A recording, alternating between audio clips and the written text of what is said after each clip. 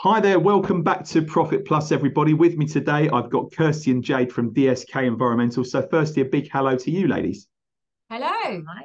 Hello, pleasure to have you here. So, for people that are actually watching this that don't know who you are and what you actually do, uh, perhaps you could give us a bit of an insight into that first. Of course, of course. So, we do asbestos removal, we do passive fire protection, industrial maintenance, and industrial coatings, as well as general site works. Fantastic, good stuff. And just out of interest, how long have you been doing that for? Since 2020, just before COVID hit. Just before COVID hit. So, what month in 2020 did you start up? In the February. Wow. but it's surprising actually. I speak to a lot of people that have done really, really well that started around sort of February, March, April time. Um, and for some reason they they've they, you know they've just got through it you know and actually starting the business at such a difficult time you're thinking in the future well what else can happen really that's going to be worse than that so you're in a really really strong position to be resilient next time so um in terms of what's actually gone on since February 20, um, 2020, sorry, um, how, how have how's the business actually fared in its first couple of years then? Really, really well. Fortunately, we were able to add other services um, to what we do. Um, so predominantly at the beginning, it was just purely asbestos removal, but then we went into the industrial maintenance. So we got some work on power stations, maintaining the plant so that um, all of the um, operations work well. Um, and we fed from there and then went into the um, passive fire protection. And yeah, it just kind of had a snowball effect and we we expanded fantastic so what's the what would you say the largest side of your business is right now the largest side would be the asbestos removal. Um, I'd say that 70% of what we do um, is, is solely with that. Um, but the other areas are starting to pick up more because more people are understanding that we are doing um, other things with the, the passive fire protection and the uh, the industrial maintenance and also coatings as well, shot blasting. Okay. Yeah, power stations were a big big thing in the beginning. Yeah. Fantastic. I think it's quite interesting actually, because a lot of people I speak to, when um, I ask them, you know, do your customers know everything you do? Often the answer to that is, well, it's on our website. And then I always say to them that do how often do your customers look at your website? Because usually it's just prospects that look at it, right?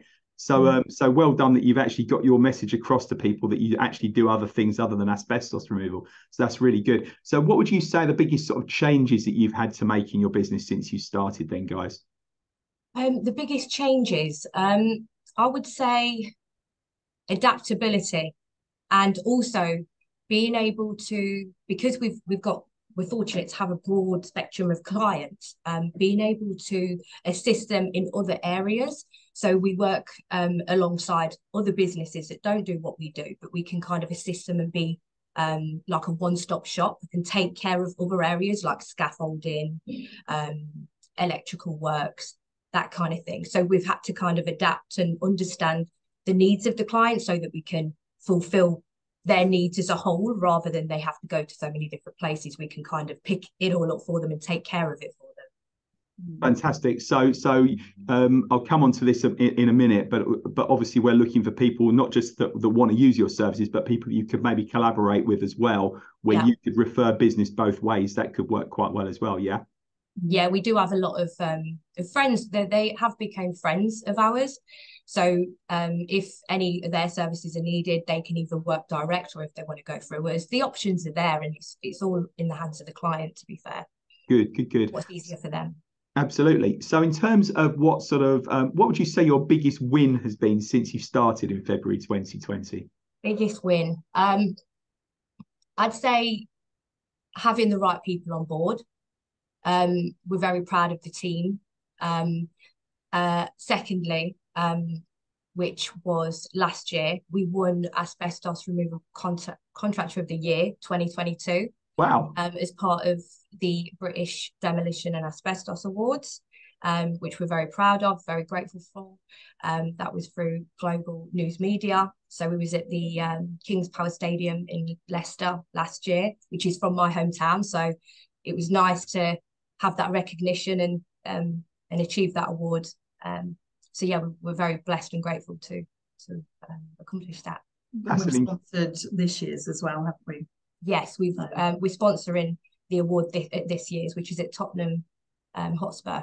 So oh wow, excited for that, and that's in September. So fantastic. Yeah. It's interesting actually because I mean awards are usually the things that people pull out when asking that question. But your first your first answer was actually the people and the team you've got. Um, and I think you know why wouldn't it be? You know if you've got if you've got a great set of people behind you, it's going to help you win those awards in the first place, right? So it, it's sort of that has to come first, which I agree with. Brilliant.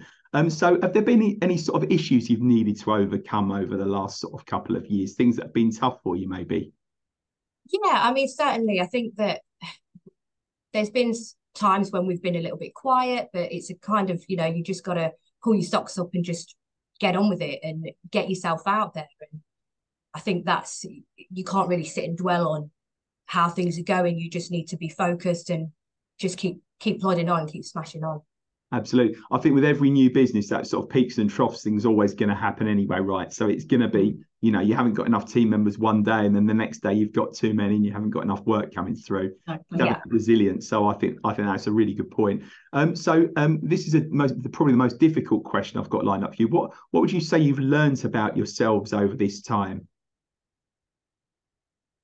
Definitely resilience. yeah, I'd have to yeah. agree. I would have to agree there. Yeah, resilience, being determined, learning new things. I think it was a case of of that for a lot of people during COVID anyway, learning new things. And um, we're now working towards an accreditation, an ISO accreditation that uh, comes under the UK government standards. Um, so that's something that will open up a lot more doors for us um, moving forward as well.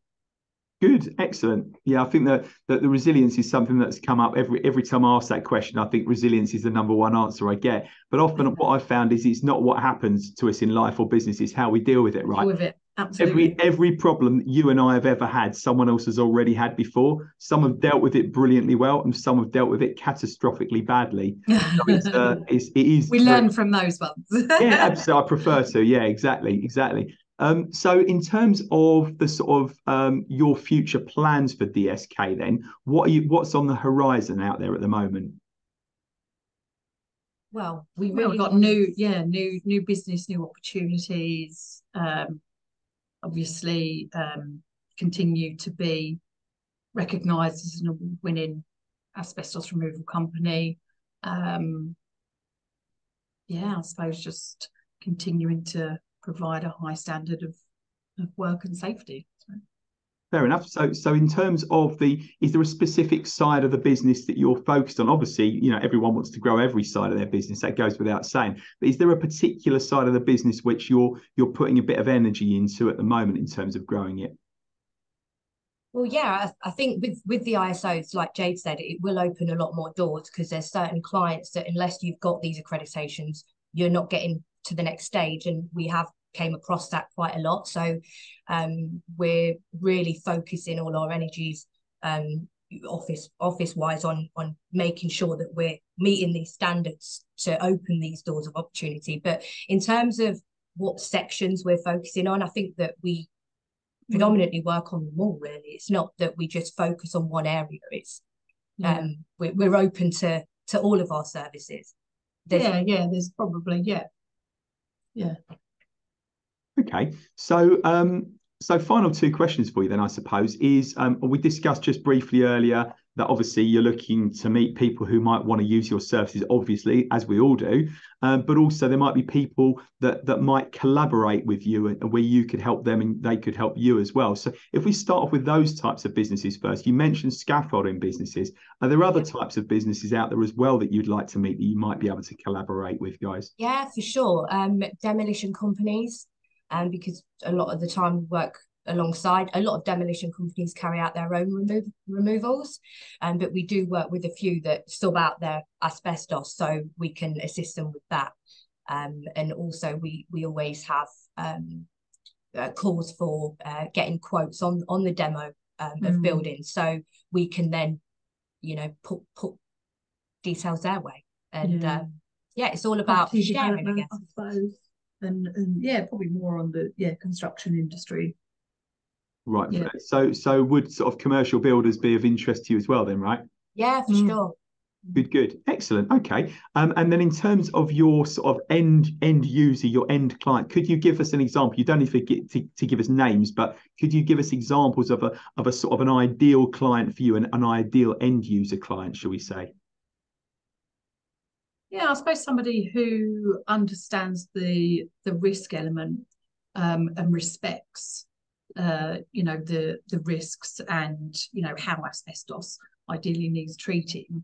Um, you know, that's that's really important, I think, and I think as well, sort of valuing safety and you know not making any compromises on that. Fantastic. So, so would it matter whether it was a commercial premises or a resi, or would, would that would that be important? No, we're we're no. open. We're open. We're open to to to everyone. Yeah, um, because there's so much asbestos still out there as well. In in that respect, there's so much I don't think people are aware of of the risks, and especially people who are uh, sort of refurbing their house or just even just buying a new one know, not aware of that. And we don't cherry pick work either, even the smallest of jobs. So, say if somebody's fly tips some asbestos, we can assist them with that. Yeah. Um, and it's about educating them as well um, and putting their mind at rest because everybody hears asbestos and they panic. Um, but I think it's more important to be educated and to understand what you're dealing with, and that's where we can assist.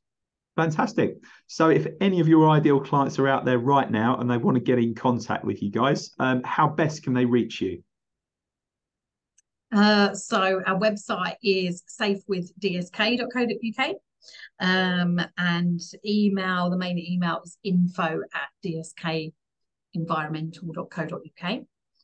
And our phone number is 0345 314 2121.